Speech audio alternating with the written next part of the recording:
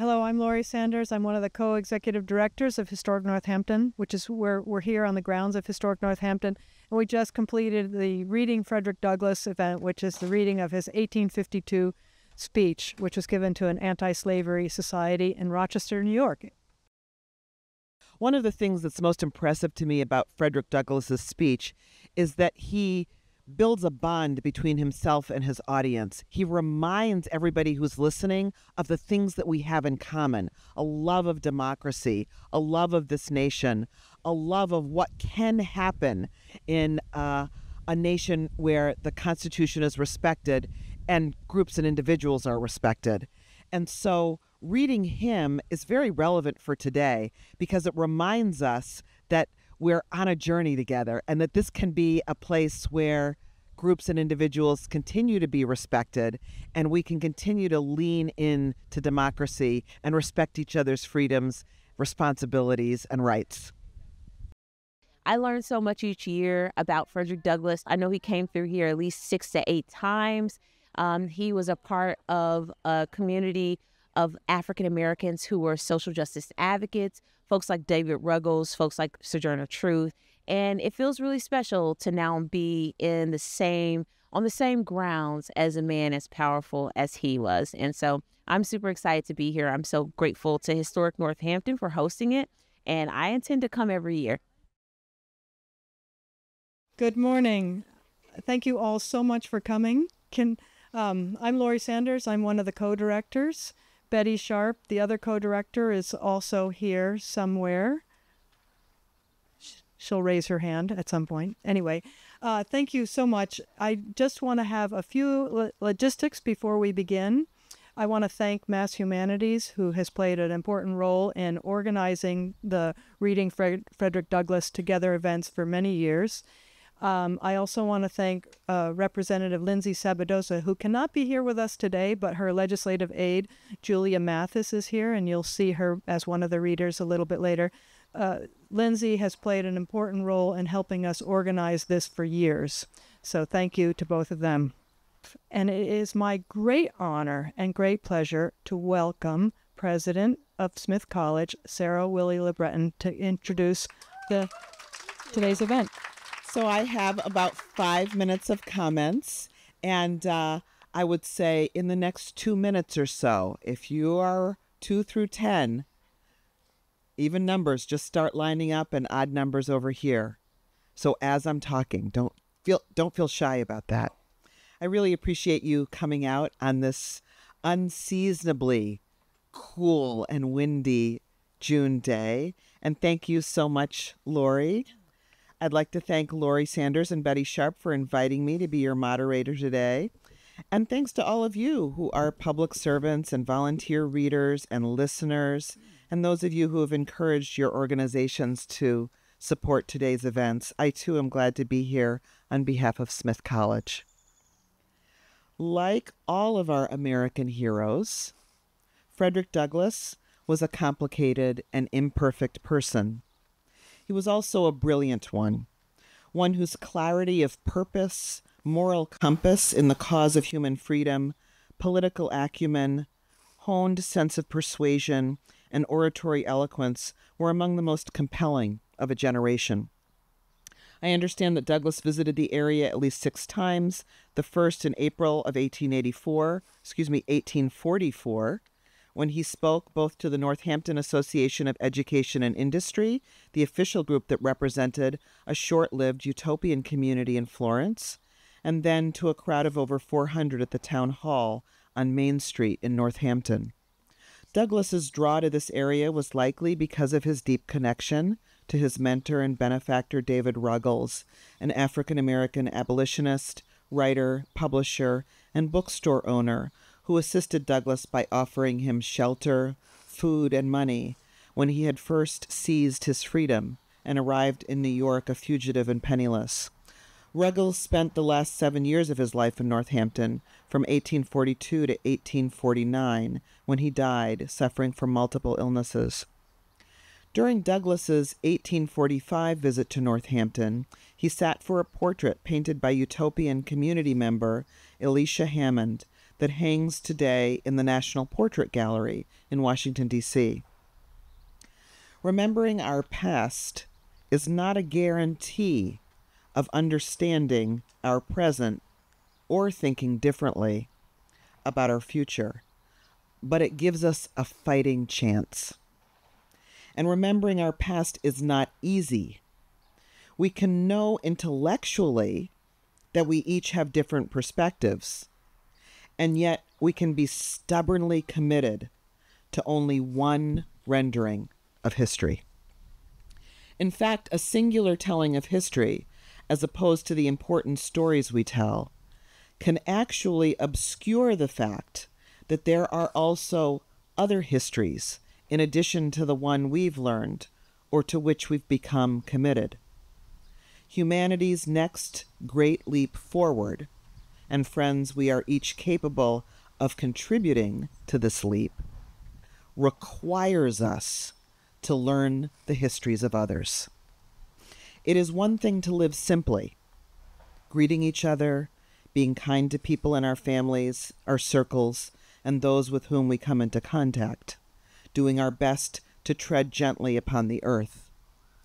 It is another to live simplistically, giving in to the fantasy that everything about life is or should be simple. The stories we tell, the ethical quagmires that confront us, and particularly important for today, the history we uncover. The only way we advance ourselves is to embrace the complexities. I believe that our next truly great leap is not an advancement in technology or medicine. It is one where most of us see with multiple lenses, experience greater empathy, carry a deeper appreciation of the complex lives we all lead, and are less invested in reciting histories that make us heroes than in histories that elucidate those multiple perspectives.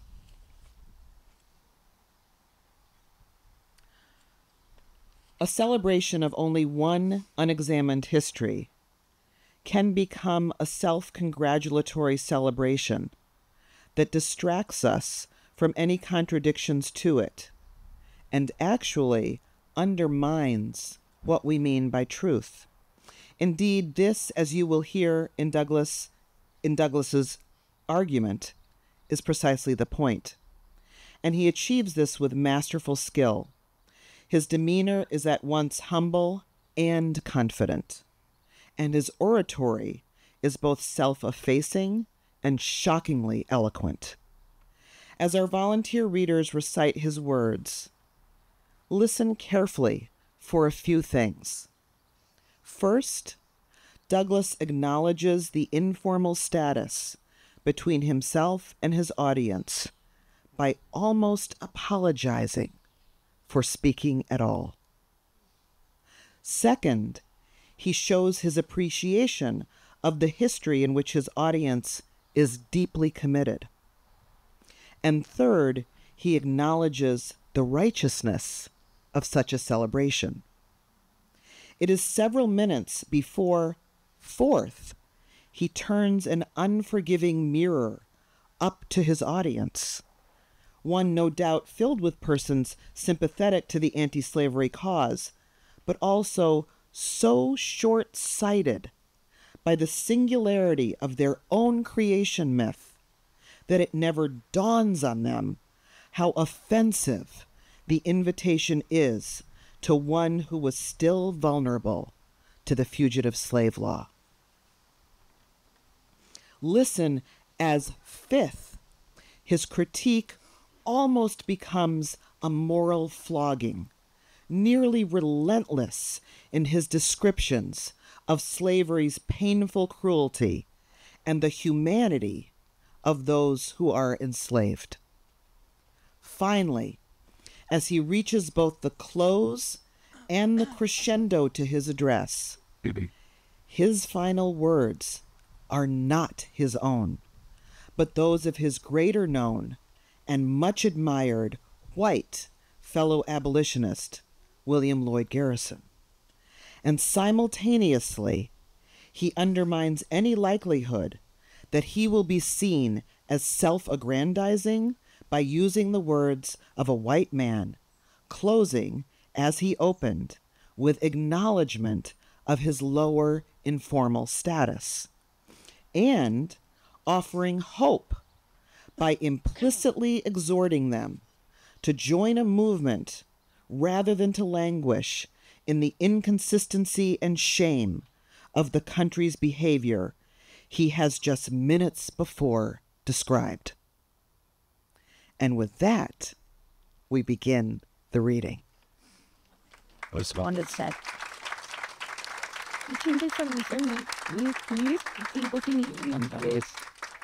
Mr. President, friends, and fellow citizens. The task before me is one which requires much previous thought and study for its proper performance. I do not remember ever to have appeared as a speaker before any assembly more shrinkingly, nor with greater distrust of my ability than I do this day. The papers and placards say that I am to deliver a Fourth of July oration. The fact is, ladies and gentlemen, the distance between this platform and the slave plantation from which I escaped is considerable. And the difficulties to be overcome in getting from the latter to the former are by no means slight. That I am here today, to me, is a matter of astonishment as well as gratitude. This, for the purpose of this celebration, is the 4th of July. It's the birthday of your national independence and your political freedom. This, to you, is what the Passover was to the emancipated people of God. It carries your minds back to the day and to the act of your great deliverance. This celebration also marks the beginning of another year in your national life and reminds you that the Republic of America is now 76 years old. I am glad, fellow citizens, that your nation is so young. You are, even now, only beginning of your national career. career. This lingering in the period of childhood, I repeat, I am glad this is so.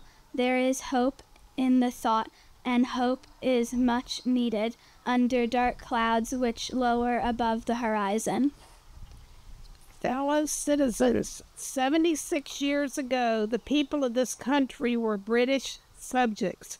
The style and title of your sovereign people, in which you now glory, was not then born.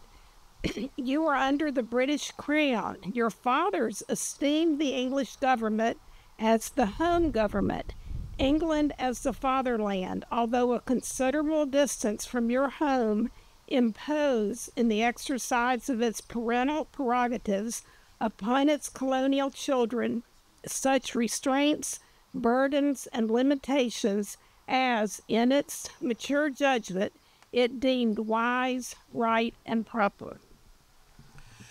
But your fathers, who had not adopted the idea of the infallibility of government and the absolute character of its acts, presumed to differ from the home government in respect to the wisdom and the justice of some of those burdens and restraints. They went so far as to pronounce the measures of government unjust, unreasonable, and oppressive, and altogether such as ought not to be quietly submitted to. I scarcely need say, fellow citizens, that my opinion of those measures fully accords with that of your fathers. Feeling them harshly and unjustly treated by the home government, your fathers, like men of honesty and men of spirit, earnestly sought redress. They petitioned the and remonstrated. They did so in a decorous, respectful, and loyal manner. This, however, did not answer the purpose. They saw themselves treated with sovereign indifference, coldness, and scorn, yet they persevered. Oppression makes a wise man mad. Your fathers became restive under this treatment. They felt themselves the victims of grievous wrongs, wholly incurable in their colonial capacity. With brave men, there is always a remedy for oppression. Just here, the idea of a total separation of the colonies from the crown was born. It was a startling idea, much more so than we at distances of time regard it. The timid and the prudent of that day were, of course, shocked and alarmed by it.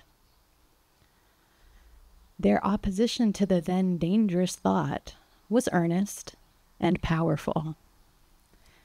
But amid all their terror and affrighted vociferations against it, the alarming and revolutionary idea moved on, and the country with it. On the 2nd of July, 1776, the Old Continental Congress, to the dismay of the lovers of ease and the worshippers of property, clothed that dreadful idea with all the authority of national sanction. They did so in the form of a resolution. We seldom hit upon resolutions drawn up in our day whose transparency is at all equal to it. Resolved that these united colonies are, and of right ought to be, free and independent states that they are absolved from all allegiance to the British Crown. Citizens, your fathers made good that resolution. They succeeded.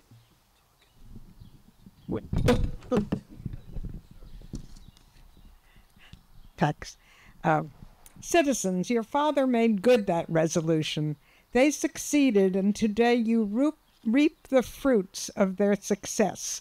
The freedom gained is yours, and you therefore may properly celebrate this anniversary. The 4th of July is the first great fact in your nation's history, the very ring bolt in the chain of your yet undeveloped destiny. Pride and patriotism, not less than gratitude, prompt you to celebrate and to hold it in perpetual remembrance. I have said that the Declaration of Independence is the ring bolt to the chain of your nation's destiny. So indeed I regard it. The principles contained in that instrument are saving principles. Stand by those principles. Be true to them on all occasions, in all places, against all foes, and at whatever cost fellow citizens, I am not wanting in respect for the fathers of this republic. The signers of the Declaration of Independence were brave men. I cannot contemplate their great deeds with less than admiration. They were statesmen, patriots, and heroes, and for the good they did and the principles they contended for, I will unite with you to honor their memory. They loved their country better than their own private interests, and all will concede that it is a rare virtue that ought to be, that ought to command respect. He who will intelligently lay down his life for his country is a man whom it is not in human nature to despise. Your fathers staked their lives, their fortunes, their sacred honor on the cause of this country. In their admiration of liberty, they lost sight of all other interests. They were peacemen but they preferred revolution to peaceful submission to bondage. They were quiet men, but they did not shrink from agitating against oppression. They showed forbearance, but they knew its limits. They believed in order, but not in the order of tyranny. With them, nothing was settled that was not right. With them, justice, liberty, and humanity were final. Not slavery and not oppression. You may well cherish the memory of such men. They were great in their day and generation. Their solid manhood stands out the more as we contrast it with these degenerate times. How circumspect, exact, and proportionate were all their movements. How unlike the politicians of an hour. Their statesmanship looked beyond the passing moment and stretched away in strength into the distant future.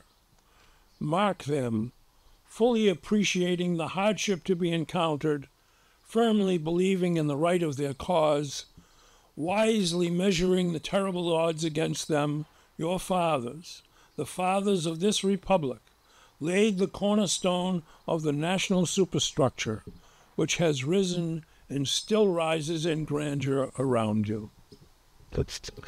Of this fundamental work, this day is the anniversary.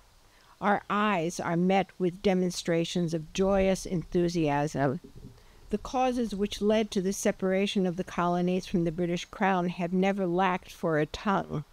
They have all been taught in your common schools, narrated at your firesides, unfolded from your pulpits, and thundered from your legislative halls, and are familiar to you as household words. They form the staple of your national poetry and eloquence. I leave, therefore, the great deeds of your fathers to others. My business, if I have any here today, is with the present. The accepted time with God and His cause is the ever living now. We have to do with the past only as we can make it useful to the present and to the future. Now is the time, the important time. Your fathers have lived, died, and have done their work, and have done much of it well.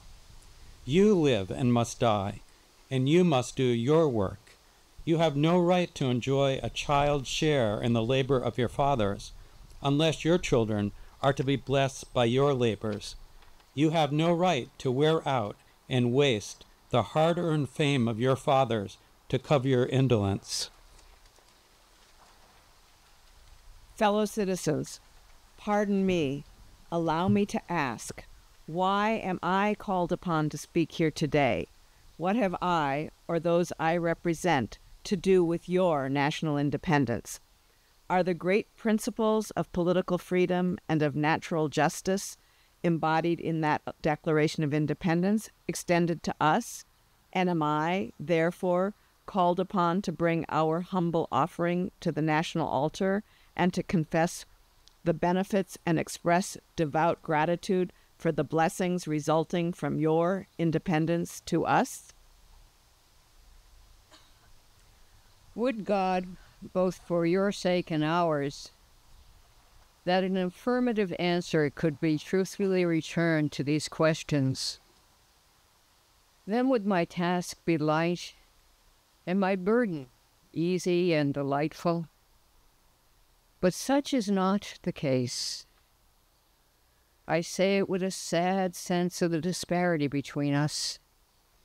I am not included within the pale of this glorious anniversary. Your independence only reveals the immeasurable distance between us. Blessings in which you this day rejoice are not enjoyed in common. The rich inheritance of justice, liberty, prosperity, and independence bequeathed by your fathers is shared by you, not by me. The sunlight that brought life and healing to you has brought stripes and death to me. This 4th of July is yours, not mine. You may rejoice, I must mourn. To drag a man in feathers, fetters into the grand illuminated temple of liberty and call upon him to join you in joyous anthems were inhuman mockery and sacrilegious irony. Do you mean, citizens, to mock me by asking me to speak today? Fellow citizens, above your national tumultuous joy, I hear the mournful wail of millions, whose chains, heavy and grievous yesterday, are today rendered more intolerable by the jubilee shouts that reach them. To forget them, to pass lightly over their wrongs, and to chime in with the popular theme would be treason most scandalous and shocking, and would make me a reproach before God and the world. My subject, then, fellow citizens, is American slavery. I shall see this day from the slave's point of view. Standing here identified with the American bondman, making his wrongs mine, I do not hesitate to declare with all my soul that the character and conduct of this nation never looked blacker to me than this 4th of July. Whether we turn to the declarations of the past, or to the professions of the present, the conduct of the nation seems equally hideous and revolting. America is false to the past, false to the present, and solemnly binds herself to be false to the future. Standing with God and the crushed and bleeding slave on this occasion, I will, in the name of humanity, which is outraged, in the name of liberty, which is fettered, in the name of the Constitution and the Bible, which are disregarded and trampled upon, dare to call in question and to denounce, with all the emphasis I can command, everything that serves to perpetuate slavery, the great sin and shame of America. I will not equivocate, I will not excuse. I will use the severest language I can command and yet not one word shall escape me that any man whose judgment is not blinded by prejudice, or who is not at heart a slaveholder, shall not confess to be right and just. I fancy I hear some one of my audience say, It is just in this circumstance that you and your brother abolitionists fail to make a favorable impression on the public mind. Would you argue more and denounce less? Would you persuade more and rebuke less? Your cause be much more likely to succeed. But, I submit, where all is plain, there is nothing to be argued. What point in the anti slavery creed would you have me argue? On what branch of the subject do the people of this country need light? Uh, must I undertake to prove that the slave is a man? The slaveholders themselves acknowledge it in the enactment of laws for their government. They acknowledge it when they punish disobedience of part of the slave. There are 20, 72 crimes in the state of Virginia which, if committed by a black man, subject him to the punishment of death while only two of the same citizens will subject a white man to the like punishment. What is this but the acknowledgement that the slave is a moral, intellectual, and respectable being? Southern statute books are covered with enactments forbidding, under severe fines and penalties, the teaching of a slave to read or to write. When you can point to any such laws in reference to the beasts of the field, then I may consent to argue the manhood of the slave. When the dogs in your streets, when the fowls of the air, when the cattle on your hills, when the fish of the sea and the reptiles that crawl shall be unable to distinguish the slave from a brute, then I will argue with you that the slave is a man.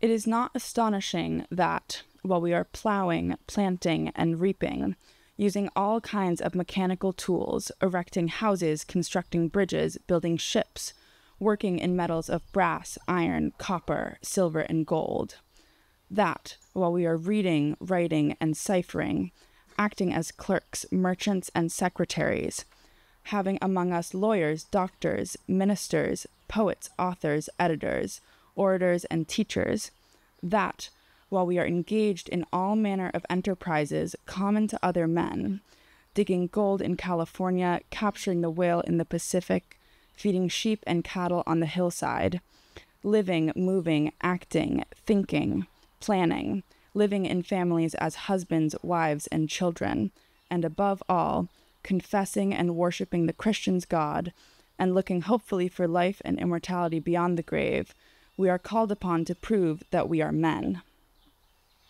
Would you have me argue that man is entitled to liberty, that he is the rightful owner of his own body? Would you, you have already declared it? Must I argue the wrongfulness of slavery? Is it to be settled by the rules of logic and argumentation as a matter beset with great difficulty, involving a doubtful application of the principle of justice hard to be understood? How should I look today in the presence of Americans to show that men have a natural right to freedom? To do so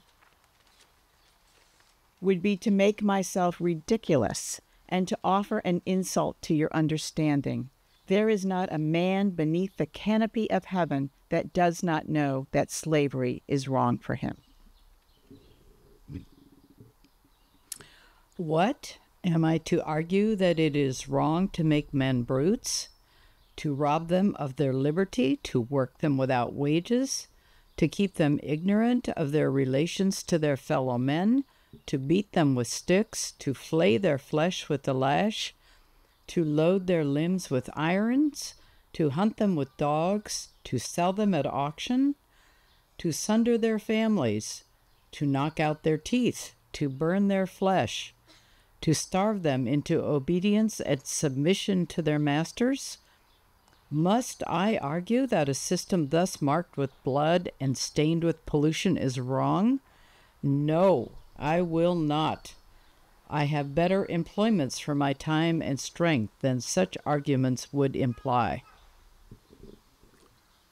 What then remains to be argued? Is it that slavery is not divine, that God did not establish it, that our doctors of divinity are mistaken? There is blasphemy in that thought. That which is inhuman cannot be divine. Who can reason on such a proposition? I cannot. The time for such argument is past. At a time like this, scorching irony, not convincing argument, is needed.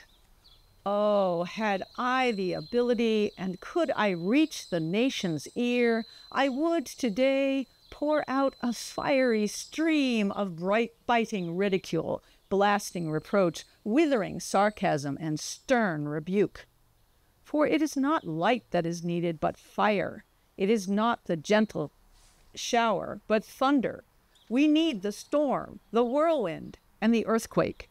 The feeling of the nation must be quickened. The conscience of the nation must be roused. The propriety of the nation must be startled. The hypocrisy of the nation must be exposed. And its crimes against God and man must be proclaimed and denounced. What, to the American slave, is your Fourth of July? I answer, a day that reveals him more than all other days in the year, the gross injustice and cruelty to which he is the constant victim. To him, your celebration is a sham, your boasted liberty, an unholy license, your national greatness, swelling vanity, your sounds of rejoicing are empty and heartless. Your denunciation of tyrants, brass fronted impudence, your shouts of liberty and equality, hollow mockery. Your prayers and hymns, your sermons and thanksgiving, with all your religious parade and solemnity, are to him mere bombast, fraud, deception, impiety, and hypocrisy. A thin veil to cover up crimes which would disgrace a nation of savages.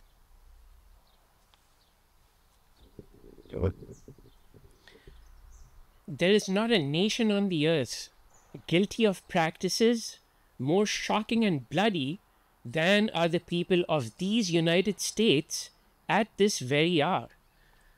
Go where you may, search where you will, roam through all the monarchies and despotisms of the old world, search out every abuse, and when you have found the last, lay your facts by the side of the everyday practices of this nation, and you will say with me that for revolting barbarity and shameless hypocrisy, America reigns without a rival. Take the American slave trade, which we are told by the papers is especially prosperous right now, as the price of men was never higher, and which is carried on in all the large towns and cities in one half of this Confederacy. This trade is one of the peculiarities of American institutions. In several straight states, this trade is the chief source of wealth. It is called the inter- internal slave trade in order to divert it to uh, divert it from the horror with which the foreign slave trade is contemplated.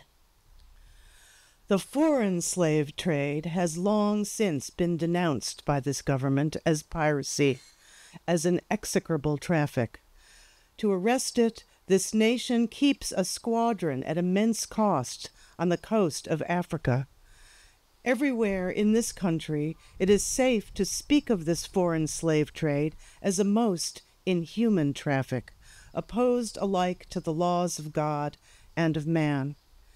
It is, however, a notable fact that while so much execration is poured out by Americans upon those engaged in the foreign slave trade, the men engaged in the slave trade between the states pass without condemnation, and their business is deemed honorable. Behold the practical operation of this internal slave trade, the American slave trade, sustained by American politics and American religion. Here you will see men and women reared like swine for the market. You know what is a swine drover? drover? I will show you a man drover. They inhabit all our southern states. They perambulate the country and crowd the highways of the nation with droves of human stock. You will see one of these human flesh jobbers, armed with pistol, whip, and bowie knife, driving a company of a hundred men, women, and children from the Potomac to the slave market in New Orleans. These wretched people are to be sold singly or in lots to suit purchasers. They are food for the cotton field and the deadly sugar mill.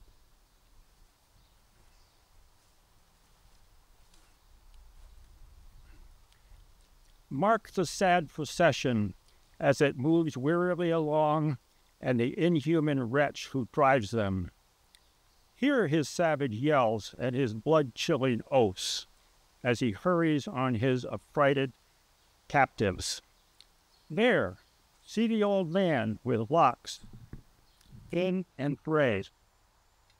Fast one glance, if you please, on that young mother, he's shouldering a bear to his fortunate son, so blinding eye falling on the brow of a babe in her army. See, too, that girl being weeping, yes, weeping as she thinks of the mother from whom she has been torn. The drove moves slowly, heartily. Heat and sorrow have nearly consumed their strength. Suddenly you hear a quick snap, like the discharge of a rifle. The fetters clank, and the chain rattles simultaneously.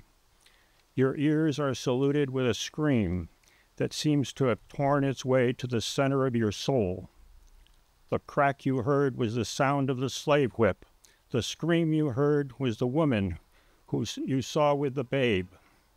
Her speed had faltered under the weight of her child and her chains. That gash on her shoulder tells her to move on. Follow this drove to New Orleans. Attend the auction. See men examined like horses. See the forms of women rudely and brutally exposed to the shocking gaze of American slave buyers. See this drove sold and separated forever, and never forget the deep, sad sobs that arose from the scattered multitude. Tell me, citizens, where under the sun can you witness a spectacle more fiendish and shocking? Yet this is but a glimpse of the American slave trade as it exists at this moment in the ruling part of the United States. I was born amid such sights and scenes. To me, the American slave trade is a terrible reality.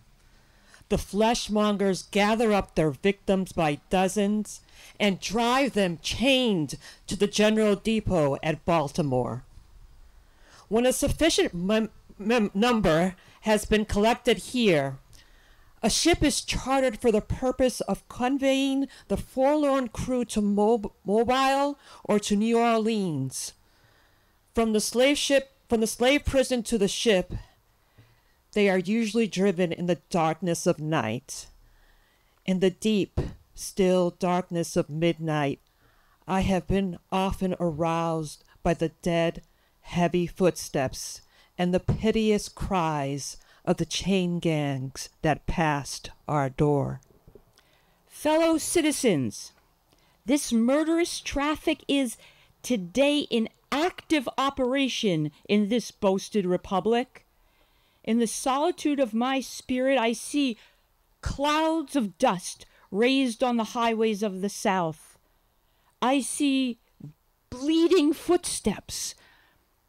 I hear the doleful wail of fettered humanity on the way to the slave markets where the victims are to be sold like horses and sheep and swine, knocked off to the highest bidder. There I see the tenderest of ties ruthlessly broken to gratify the lust, caprice, and rapacity of the buyers and sellers of men. My soul sickens at the sight. But a still more inhuman, disgraceful, and scandalous state of things remains to be presented. By an act of the American Congress, not yet two years old, slavery has been nationalized in its most horrible and revolting form. Mason and Dixon's line has been obliterated. New York has become as Virginia, and the power to hold, hunt, and sell men, women, and children as slaves remains no longer a mere state institution, but is now an institution of the whole United States. The power is coextensive with the Star Spangled Banner and American Christianity. Where these go, may also go the merciless slave hunter. Where these are, man is not sacred. He is a bird for the sportsman's gun. By that most, most foul and fiendish of all human decrees, the liberty and a person of every man are put in peril.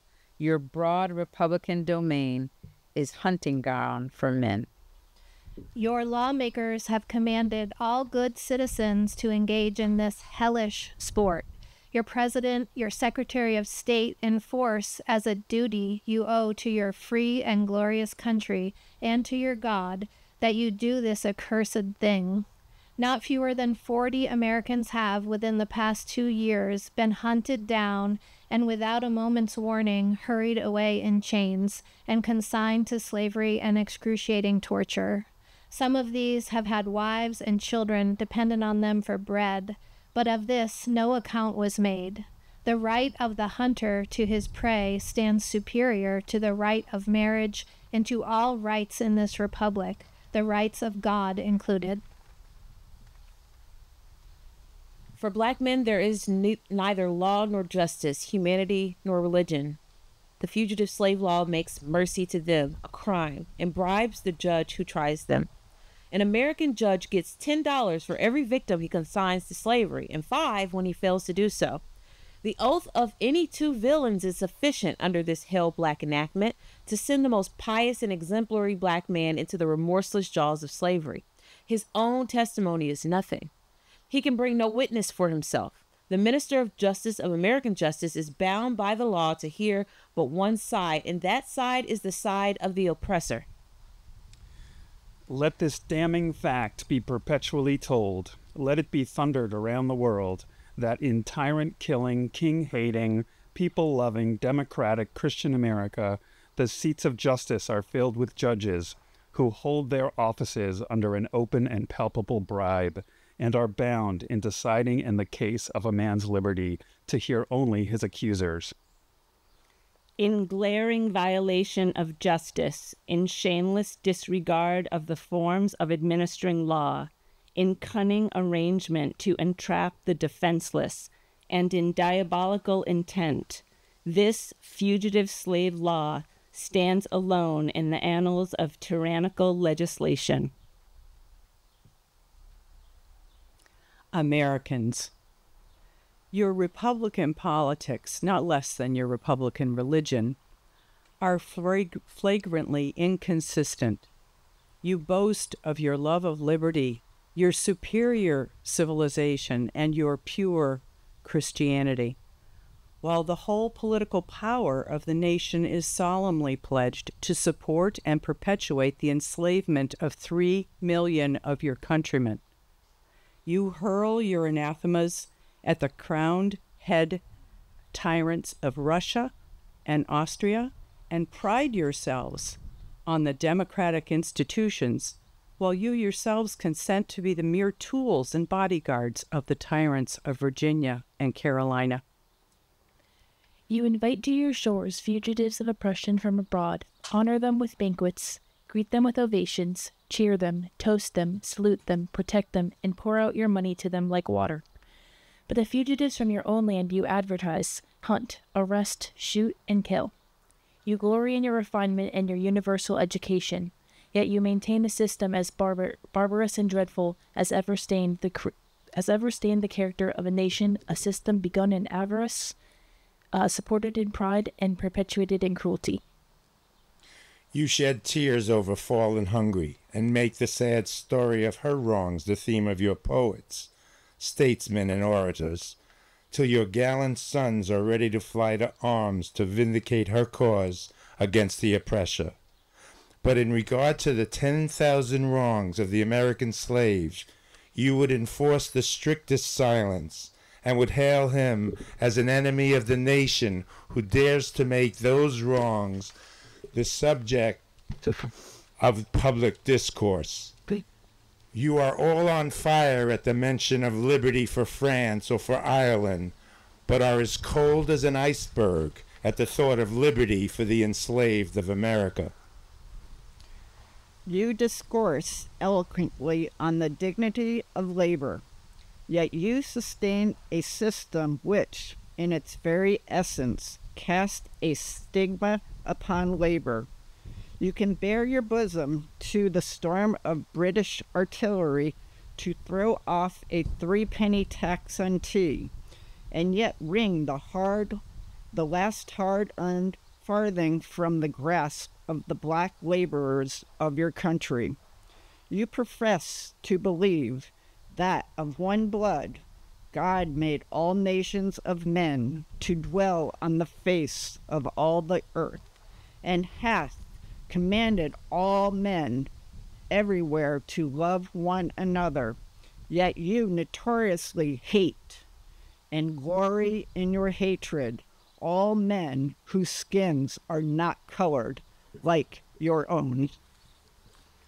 You declare before the world and are understood by the world to declare that you hold these truths to be self evident that all men are created equal and are endowed by their Creator with certain inalienable rights, and that among these are life, liberty, and the pursuit of happiness.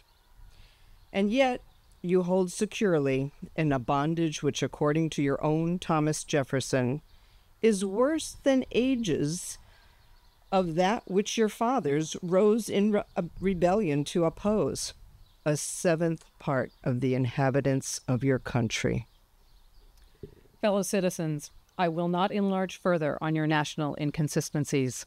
The existence of slavery in this country brands your republicanism as a sham, your humanity as a base pretense, and your Christianity as a lie. It destroys your moral power abroad. It corrupts your politicians at home. It saps the foundation of religion. It makes your name a hissing and a byword to a mocking earth. It is the antagonistic force in your government, the only thing that seriously deserves and endangers your union. It fetters your progress. It is the enemy of improvement, the deadly foe of education. It fosters pride. It breeds insolence. It promotes vice. It shelters crime. It is a curse to the earth that supports it. And yet you cling to it as if it were the sheet anchor of all your hopes. Be warned. A horrible reptile is called up in your nation's is curl, coiled up in your nation's bosom. The venomous creature is nursing at the tender breast of your youthful republic. For the love of God, tear away and fling from you the hideous monster, and let the weight of twenty millions crush and destroy it forever. But it, is but it is answered in reply to all this that precisely what I have now denounced is, in fact, guaranteed and sanctioned by the Constitution of the United States. That the right to hold and to hunt slaves is a part of that Constitution framed by the illustrious fathers of this Republic. Then I dare to affirm, notwithstanding all I have said before, your fathers, instead of being the honest men I have before declared them to be, were the various impostors that ever practiced on mankind. This is the inevitable conclusion, and from it there is no escape. But I differ from those who charge this baseness on the framers of the Constitution of the United States. It is a slander upon their memory, at least so I believe. And others have, as I think, fully and clearly vindicated the Constitution from any design to support slavery for an hour.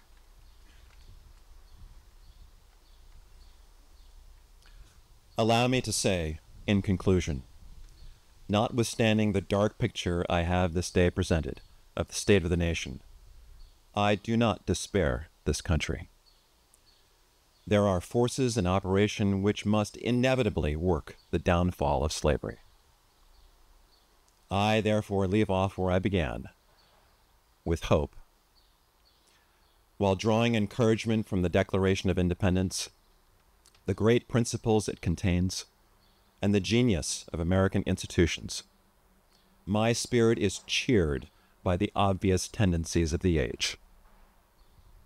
Nations do not now stand in the same relation to each other that they did ages ago. No nation can now shut itself up from the surrounding world and trot round in the same old path of its fathers without interference. The time was when such could be done, but a change has now come over the affairs of mankind. Walled cities and empires have become unfashionable. The arm of commerce has borne away the gates of the strong city. Intelligence is penetrating the darkest corners of the wor- of the globe. Wind, steam, and lightning are its chartered agents. Oceans no longer divide, but link nations together. From Boston to London is now a holiday excursion. Space is comparatively annihilated. Thoughts expressed on one side of the Atlantic distinctly heard on the other. In the fervent aspirations of William Lloyd Garrison, I say, and let every heart join in saying it, all God speed the day when human blood shall cease to flow, and every clime be understood, the claims of human brotherhood, and each return for evil, good, not blow for blow. That day will come all feuds to end, and change into a faithful friend each foe.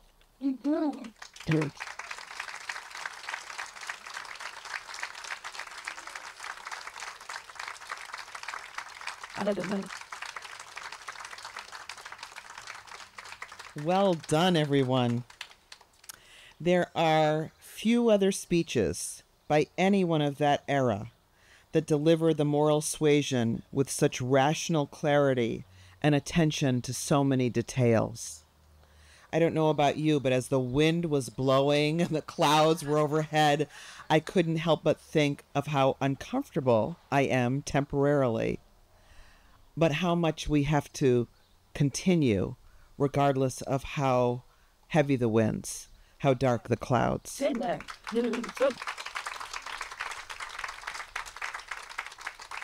The speech is powerful in one way when one person recites it, as Douglass must have spoken it to a crowd unsuspecting of what was coming. But it takes on a different power when so many of us read it, as if a long ago prediction has come to pass, given time, reflection, and living in community even if it isn't utopian, we humans will persist. We will struggle for not only our own rights, but those of our fellows. We will take up the responsibility for caring for and about each other. And today in Northampton, Massachusetts, as was no doubt the case when Douglass spoke here 180 years ago, we will share our multiple histories and work together for our common liberation. Thank you for being here today. Thank you.